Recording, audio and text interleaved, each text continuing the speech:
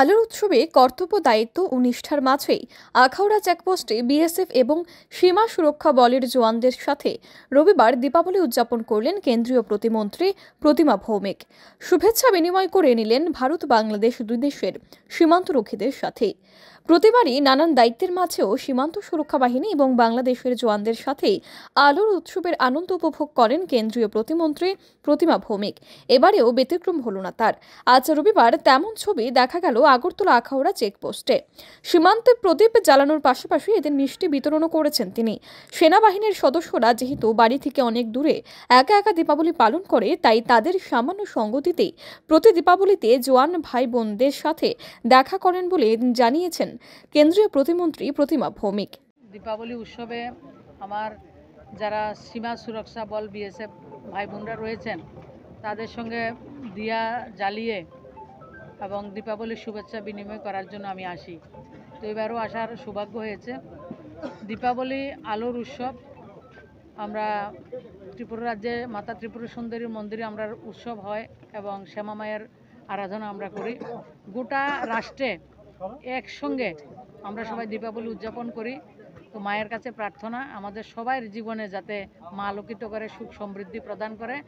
আর যে আমার বিএসএফ ভাই বোনরা রয়েছে, তাদের কাছে আমার অনেক অনেক শুভেচ্ছা এবং একটা অনুরোধ করব, ওনারা ঘর থেকে অনেক দূর, কিন্তু মনের দিক থেকে আমরা সবাই একসঙ্গে রয়েছি এবং আমরা একটা পরিবার হিসাবে আমরা এক একটা এদিকে দীপাবলি উৎসব উদযাপন করছি। সবাইকে অনেক অনেক শুভেচ্ছা এবং অভিনন্দন। সবাই ভালো থাকবেন সুস্থ থাকবেন। পাশাপাশি আপনি দেখলাম কাউন্টার পার্ট বিজেপি কেও না বরাবরে আমরা যারা বাংলাদেশের সুরক্ষা বল রয়েছেন আমরা একসঙ্গে তাদের সঙ্গে শুভেচ্ছা বিনিময় করেছি।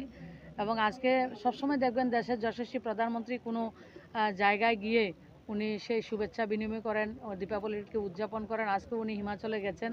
সেই জায়গায় আমার আহ, অর্ধ সৈনিক বল আমাদের সৈনিক যারা রয়েছে তাদের সঙ্গে উনি দীপাবলি উদযাপন করেন যাতে পরিবার থেকে দূরে ওনারা মেহসুস না করেন। তার জন্য সেই দীপাবলি উৎসব আমরা একসঙ্গে পালন করছি এবং আমাদের কাউন্টার পার্ট যেটা বাংলাদেশ রয়েছে এবং আমাদের দেশ দুটোটা মিলে একাকার হয়ে আমরা সবাইকে দীপাবলির অনেক অনেক শুভেচ্ছা অভিনন্দন জ্ঞাপন করছি।